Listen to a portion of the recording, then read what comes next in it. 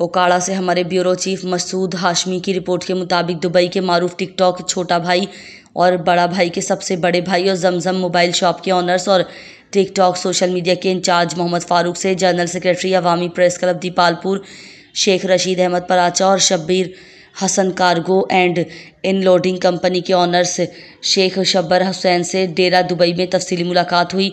भाई मोहम्मद फारूक ने बताया कि हम चारों भाई एक साथ काम कर रहे हैं और इस वक्त हमारे चार ब्रांच काम कर रही हैं। उन्होंने बताया कि अभी शारजा में ईद से पहले एक ब्रांच का अफ्ताह करेंगे और हमारी कोशिश है कि हर कंट्री में हमारी ब्रांच हो। उन्होंने बताया कि इस वक्त हमारी हर ब्रांच पर ईद ऑफ़र चल रही है, जिससे आवाम को फ़ायदा उठाना चाहिए। उन्होंने एक सवाल के जवाब में बताया कि हम जल्द से जल्द बाकी ब्रांचों का भी अफ्ताह करेंगे। उन्होंने कहा कि हम चारों भाइयों में इसी तरह इतफाक़ और प्यार रहेगा।